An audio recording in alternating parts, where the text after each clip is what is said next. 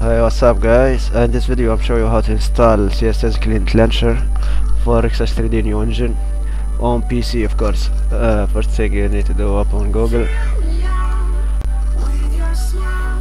and go to my profile GitHub.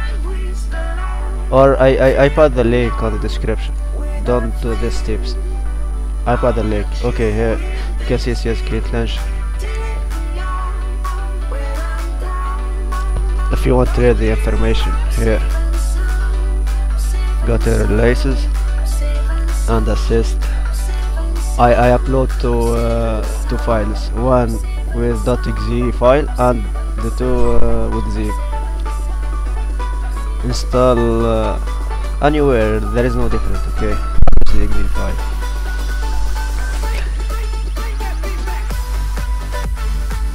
You can see here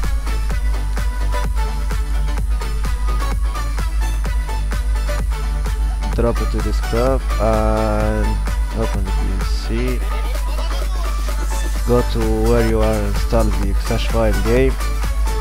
I put it here games uh, you can see here Half-Life now drag and drop the launch. I have one before I did it now okay now I have one. Okay easy peasy uh, other thing if you want to know how to install Xash3D new engine on PC just press here. You can see I, I put the tutorial here. After that watch this video. It's easy don't worry. Now let's try the launch. Uh, run. Easy easy. That's it guys. Thanks for watching and bye bye